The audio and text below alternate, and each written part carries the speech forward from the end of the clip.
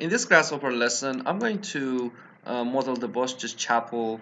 Uh, as you can see in these pictures, uh, this is basically the uh, main building and you can see this is a NURBS surface which we want to produce it and make it a parametric exercise. So in this lesson, I'm going to try to uh, model this in Grasshopper and uh, control the model. So as you can see here, uh, I can simply uh, work with graphs and I can change the model. As you can see I can change this.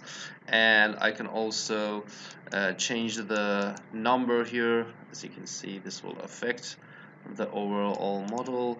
And as you can see uh, as I change this graph uh, we can produce new uh, models based on these graphs. So this is the way uh, how you can model uh, NURBS surfaces if you want to work with graphs and I'm going to explain how to control this surface. So uh, we have this uh, exact uh, NURBS surface uh, on here we have it here. So there are uh, some small tips you have to work on to produce the base surface and then we have the glass inside of this. So this grasshopper lesson will basically uh, help you uh, to understand how you can use the NURBS curve and, and uh, the system and at the end I'm going to explain how you can uh, control the size of this model so you can uh, say that I want maybe 50 in the x direction and maybe 20 uh, in the y direction and maybe we want the minimum and the maximum height to be 10